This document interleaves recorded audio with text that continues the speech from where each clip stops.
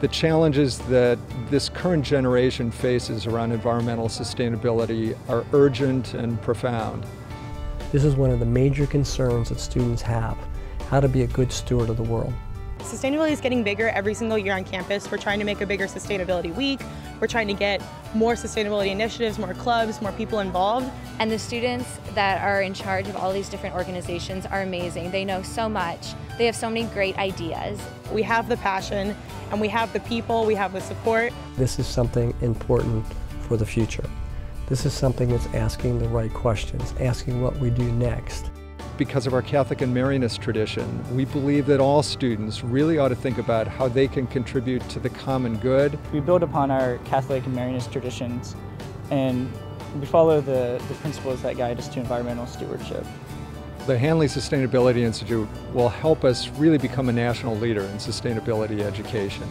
Uh, UD already does very important things in research and curriculum and sustainability. We work with a lot of community partners on sustainability projects, but we don't have a way to integrate that across the campus and throughout our partnerships. So the Sustainability Institute will bring together all of our activities and allow us to achieve much deeper impact. There's been a lot of activity around sustainability on campus, but the Hanley gift allows us to accelerate that. It really allows us to be a thought leader. What we see in other universities' sustainability initiatives is that they tend to be rooted primarily in the environmental sciences or environmental engineering.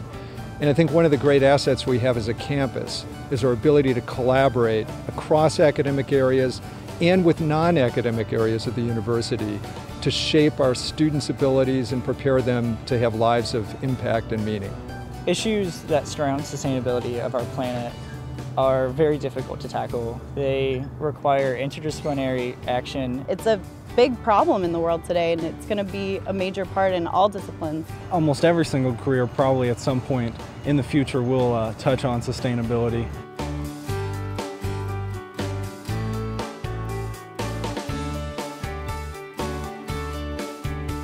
We have such a strong community here among the students that I really think that we can make anything possible.